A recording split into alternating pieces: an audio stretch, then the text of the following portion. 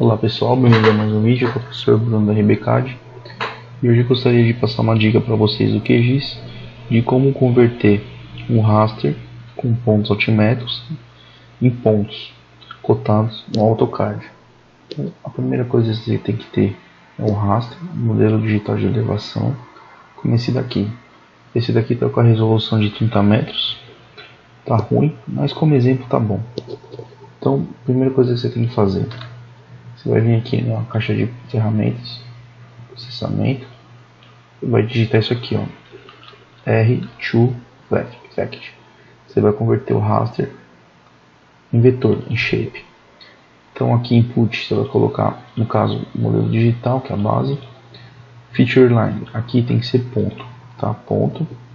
E aí você dá um run. O que, que ele vai fazer? Ele vai criar um ponto no centro do raster. Aí é claro que quanto menor a resolução do rastro, mais detalhado vai ser o seu ponto cotado. Tá?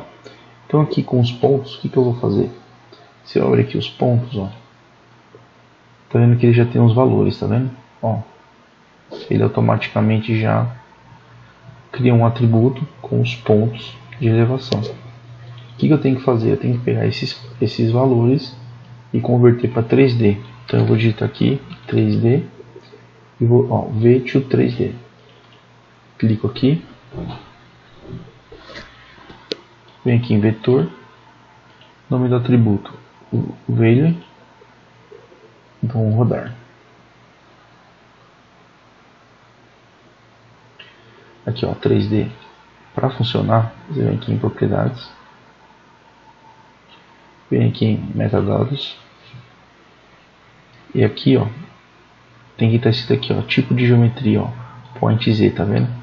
É que nem o vídeo que eu fiz sobre curva de nível. Tem que ter o Z no final. Então, beleza. Próximo passo, salvar como DXF.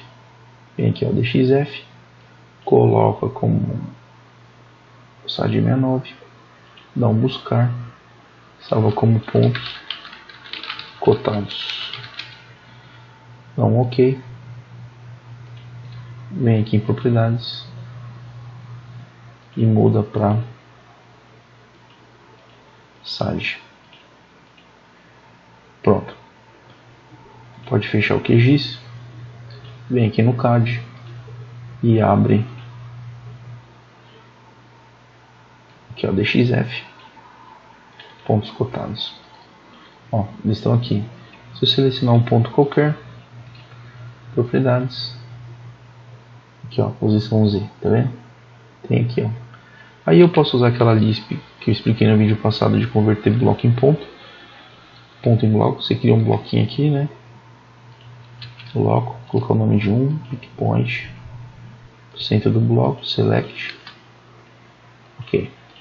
Para. Digita aqui app, app load. Digita aqui to block Vem aqui, ó, PT to block. Nome do bloco 1. Fator de escala 1. Rotação 1. Seleciona tudo. Dá um Enter. E pronto. Você vai ter aqui os seus blocos.